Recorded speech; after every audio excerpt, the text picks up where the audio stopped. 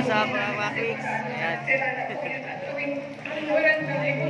Ah, dito po kami ngayon sa ano, Yan, kay BBM.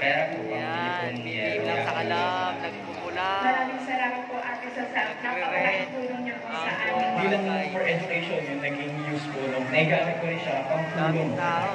Kahit kami manihirap, meron ka lang pag-asa pa rin. Kahit na natunggulan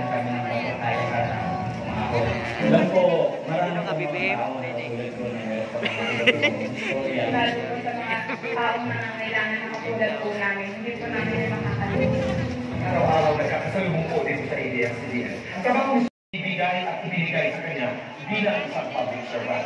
Ang aking dasal para kay Sol. At sinabi ko po sa kanya, personal, ang aking dasal ay sana'y ipagpatuloy niya yung panindigan, yung paninindigan niya sa kanyang tao. Dahil natatakot ako because politics BBM. Yan. Solid.